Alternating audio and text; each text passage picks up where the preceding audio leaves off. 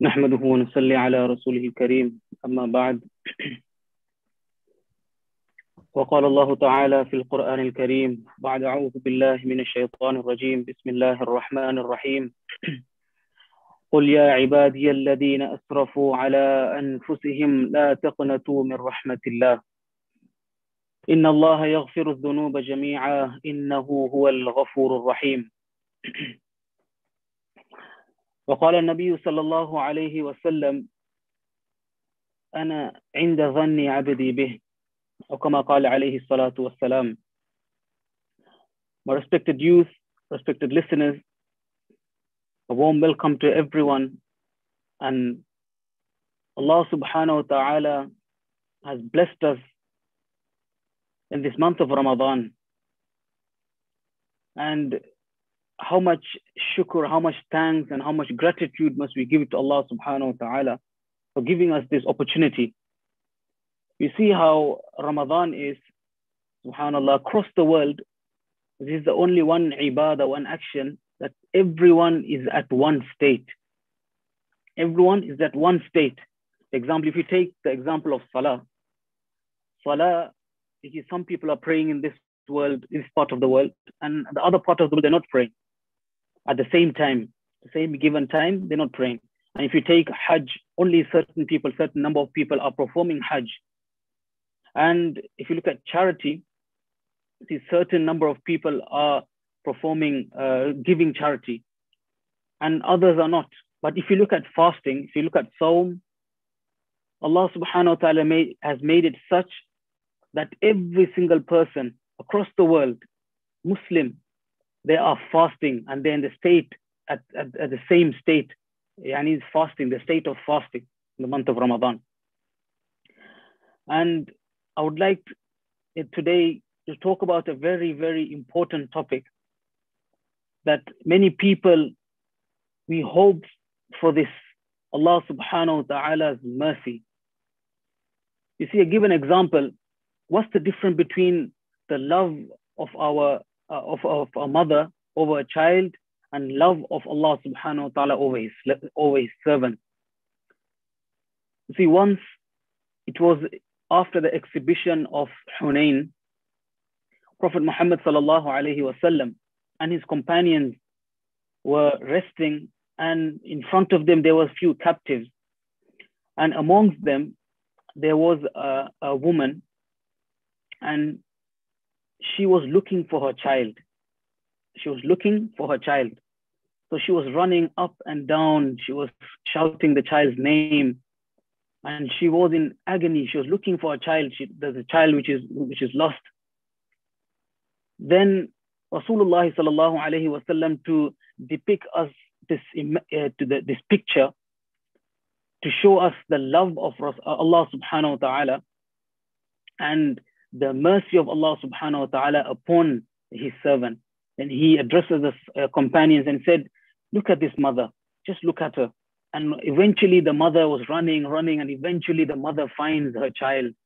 And as she finds her child, she hugs her child and she kisses her child and she feeds her child. And out of mercy, she, she holds on to, she holds on to the child so tightly then Rasulullah sallallahu alayhi wasallam, he asked the Sahaba radiallahu anhum, do you, do you think that this mother will throw this child into the fire?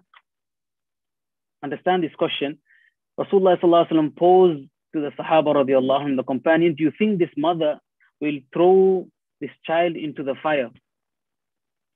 Then the companions, they were shocked. They said, this mother will never ever throw this child into the fire because, because they saw that love and affection the mother showed the child. Then Rasulullah sallallahu wasallam said to the Sahaba radiallahu anhum, you saw the love of the mother over this child. But understand, Allah subhanahu wa ta'ala loves his servants more than this mother. In some other hadith, he says 70 times more than the mother, this mother, or 70 times more than the mothers how they love their children, Allah subhanahu wa ta'ala loves the servants. And that type of love Allah subhanahu wa ta'ala has for each and every single servant, whether you are Muslim, whether you're not Muslim, whether you and any type of race and any any gender you are, Allah subhanahu wa ta'ala loves that person. You see, do you want to know how much Allah subhanahu wa ta'ala loves us? If you're gonna put a, a benchmark how much Allah subhanahu wa ta'ala loves us. See, some of these qualities Allah subhanahu wa ta'ala has, the 99 names, you probably heard the Asma'ul Husna. Allah subhanahu wa ta'ala has 99 names, and amongst them, they were like very strong and powerful. Amongst them is Allah's Qadir and, and uh, Jabbar is very, very strong and Allah's strength and power. And also amongst the qualities of Allah subhanahu wa ta'ala, if one of his slaves was to disobey him, Allah subhanahu wa ta'ala will also punish. He has the quality of punishing people as well. But understand this, my respected youth and listeners, there is a there is a hadith al-Qudsi when Allah subhanahu wa ta'ala says, Inna rahmati sabaqat ghadabi. Inna rahmati sabaqat ghadabi. Indeed, my mercy, indeed, my mercy overpowers and overtakes my anger and wrath. So this, just with this, this shows that our Allah, our Allah is the most merciful. Because Allah being, if you look at, if you read Surah Hud and few verses of the Quran, few, few parts, how Allah subhanahu wa ta'ala punishes the previous nation. He punishes the previous nations, but understand this, understand when he quote this verse, this hadith, which says, Inna rahmati sabaqat ghadabi or ghalabat ghadabi. Indeed, my mercy overpowers and proceeds and prevails, prevails over my anger and my wrath. This shows that Allah is more merciful. My respected listeners, Allah subhanahu wa ta'ala in the Quran uses uh, a word, uh, a word in Arabic called ghafara. Ghafara is to forgive, but he uses his word in three different phrases. Three different phrases to pose himself to show that Allah is the most forgiving. First, it, first word Allah subhanahu wa ta'ala says is Al-Ghaffar. Allah is Al-Ghaffar. Al-Ghaffar is the one who forgives immediately. So if a person was to raise his hand and ask for forgiveness, Allah will forgive him immediately. Al-Ghaffar. And from the same word, from the same root word, Allah subhanahu wa ta'ala says in the Quran, Al-Ghafur. Al-Ghafur is the one who constantly forgives. The one who constantly forgives is Ghafur. And the third one from the same root word is Al-Ghafir. The Ghafir is the one who always forgives and always and, and immediately. So it's Al-Ghafir, Al-Ghaffar, and Al-Ghafur. Al-Ghafir, Al-Ghaffar, and Al-Ghafur. Three words from the same root word. From the same root word, Allah subhanahu wa ta'ala to pose to show that Allah subhanahu wa ta'ala is most merciful and He forgives immediately. And He is the one who he's, he's, He loves to forgive, forgive His servant. And He constantly forgives His servant. And I would like to ask, pose a question to all the listeners. So why do we do the a'mal, our salah, and for what reason do we do?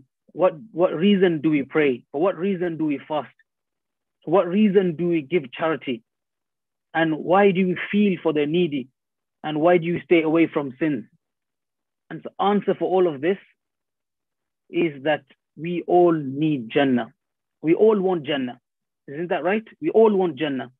At the end of the day, we do so much good deeds, we stay away from sins. Why? We need Jannah. And understand this, and this might shock many of you, is that with our deeds, with our deeds, good deeds, with our good deeds, a person cannot enter into Jannah. And this person will never enter into Jannah. It's, it's impossible for him to enter into Jannah with his good deeds. So this might surprise a person. So how so why must why must why must I do why must I do good deeds? Understand the hadith of Rasulullah sallallahu alaihi wasallam. He said that let none of you think that they will enter into Jannah with this deed. Let none of you think that he will enter into Jannah with his deed. So why is that? Why does what does this mean? Then the Sahaba radiallahu anhum asked Rasulullah sallallahu even you, O Messenger of Allah, even you, you will not enter into Jannah. Rasulullah said, even me, I will not enter into Jannah without the mercy of Allah subhanahu wa ta'ala. You see how the mercy plays a huge role. Subhanallah. Allah, without the mercy of Allah, even the most beloved, most beloved for Allah subhanahu wa ta'ala, beloved servant of Allah subhanahu wa ta'ala, he will not be able to enter into Jannah. So this, my respected brothers and elders, my respected listeners and youth, we have to understand Allah subhanahu wa ta'ala has created us and not only that, He's sustaining. Don't we breathe every single day? So Allah subhanahu wa ta'ala has given us food every single day. We're breathing and all our limbs are working. Our hearts are beating and everything, our organs, everything is fine. This is a mercy of Allah subhanahu wa ta'ala. This is the mercy of Allah subhanahu wa ta'ala that He blessed us with all of these things. So understand this is if a person were to say that with my deed I will enter into Jannah, with, with my deed I will enter into Jannah, then that person, he shaitan has tricked him.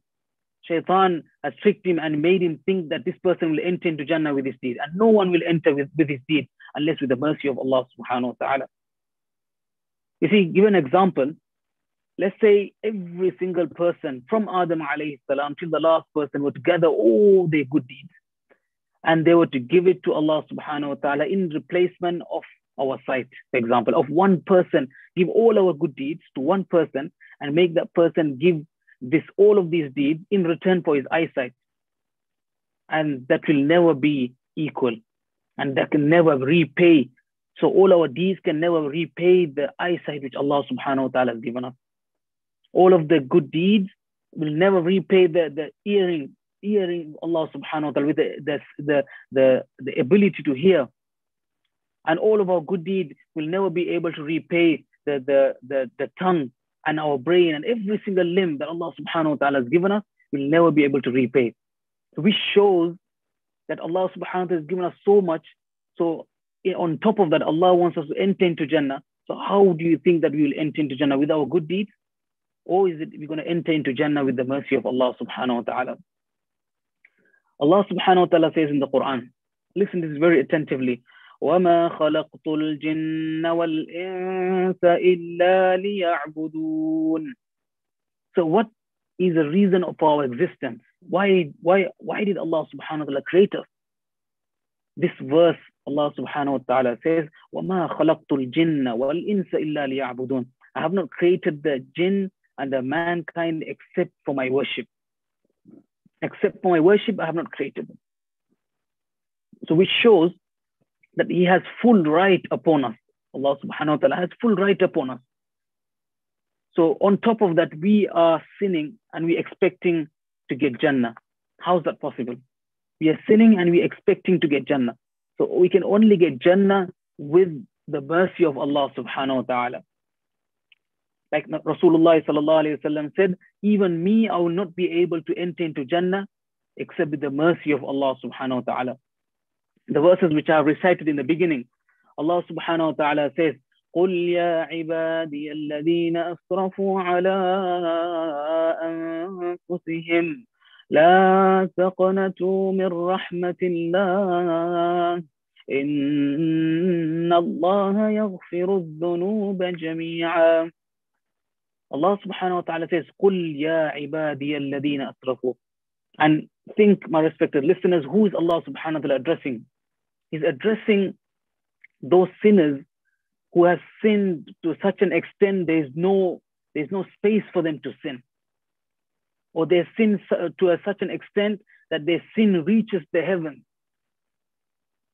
So Allah subhanahu wa ta'ala is speaking to a such sinner. He's saying, Qul ya ibadi. Ya ibadi, that expression, like how a father calls onto, onto his child, Oh my beloved son. Allah subhanahu wa ta'ala says, Oh my beloved servant. Oh my beloved servant, Qul ya ibadi asrafu. Oh those who transgress themselves على أنفسهم لا تقنطوا من رحمة الله Allah subhanahu wa ta'ala saying, do not lose, do not despair in the mercy of Allah subhanahu wa ta'ala. Turn back to Allah and Allah is ready to forgive you. Turn back to Allah and Allah is ready to forgive you. إن الله يغفر الذنوب جميعا. Allah is Allah will forgive all types of sins. Allah will forgive all types of sin, sins. and Allah subhanahu wa ta'ala says, Innahu huwal rahim, and He is the most forgiving. Allah is most forgiving. My respected listeners, if you want to know one of the qualities of Allah subhanahu wa ta'ala, if you open the Quran, and that's a challenge that if you open the Quran as you're listening, if you have a Quran next to you, open it and see every single chapter, the beginning of every single chapter. How does it how does it start? beginning of every single chapter, start with A'udhu Billahi Minash Shaytanir Rajim. Okay, that's where you read A'udhu Billahi Minash Shaytanir Rajim. But if you look at in the Quran, is written every chapter start with Bismillahir Rahmanir Rahim, except the chapter 9, Surah Tawbah. All from the beginning till the end, every single chapter starts with Bismillahir Rahmanir Rahim. What does this mean? In the name of Allah, the most, most glorious, most gracious, and most merciful. Subhanallah. Allah subhanahu wa ta'ala, and this book, this Quran, so our life depends on this Quran. It depends on this Quran. As a Muslim, Quran is our guide. So Allah subhanahu wa ta'ala, in that beginning of every single chapter, He says that I am the most merciful. I'm the most merciful. Subhanallah. My respected listeners, Allah subhanahu wa ta'ala is the most merciful. And Allah is ready to forgive us. And that's, that is why Allah subhanahu wa ta'ala has given us this month of Ramadan. This month is, back, is for us to turn back to Allah subhanahu wa ta'ala. It's for us to turn back to Allah subhanahu wa ta'ala. You see, there's a hadith of Rasulullah sallallahu alayhi wa sallam, which I have quoted, that we tend to lose hope in Allah subhanahu wa ta'ala. We say, Allah might forgive. What if Allah is angry with me? So these are all the negative side of it. So you must always think positive and we hope for the betterment. We hope for Allah's mercy. We hope for Allah subhanahu wa ta'ala. Rasulullah sallallahu alayhi wa sallam said, أنا عند أنا عند ظن عبدي به. I am to a slave how he thinks of me.